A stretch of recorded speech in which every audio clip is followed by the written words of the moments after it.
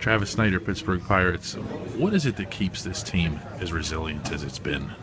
Uh, guys playing for each other, understanding what our roles are on a, any given night, and, and, really playing for each other every single night. It's something you don't see on every team, minor leagues, major leagues, especially at this level.